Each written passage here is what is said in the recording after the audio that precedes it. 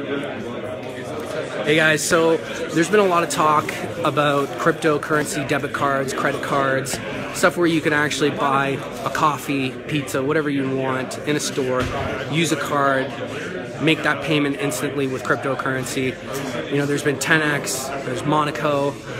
Uh, so far, seeing an actual working, functioning prototype is elusive. And I'm really excited because I'm here at the Ethereum Hackathon in Waterloo and I'm about to see a actual functioning crypto credit card, or excuse me, crypto debit card, and it's by a company called Stack.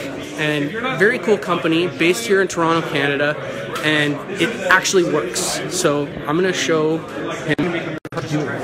Yeah. So this is uh, our crypto card. Uh, it shows the amount of ether that's actually on the card. Uh, and this is connected to the main Ethereum network. So um, these are actual transactions.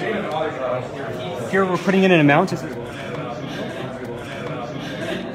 Yep. So now it's asking like to, a point of sale kind Exactly. of mock, and then Yeah. this this would be like where you actually tap your uh, you- NFC chip is in there. Or? exactly yeah, just like like you would have in a regular store. Okay. Um, so I'm going to tap.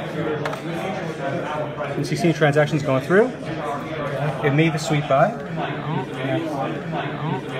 Okay. Yep. But you can also see that the amount of ether down. here has gone down. So let's take a look at the actual transaction that has gone through. Okay. And this is real Ether on the Ethereum network. This isn't play money, right? Yeah, exactly. We're going to show you. Okay. Um, so that was a real transaction that just happened. And he's getting the transaction through Geth. He's getting the transaction ID.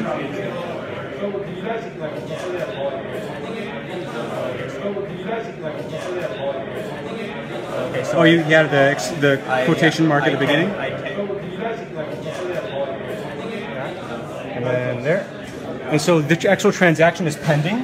You can see it was done 40 seconds, 41 seconds ago.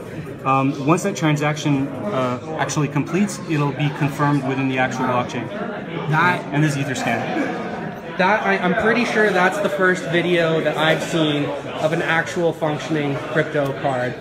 That's we At are least in Canada, excited. I Yeah. haven't seen that happen. Wow.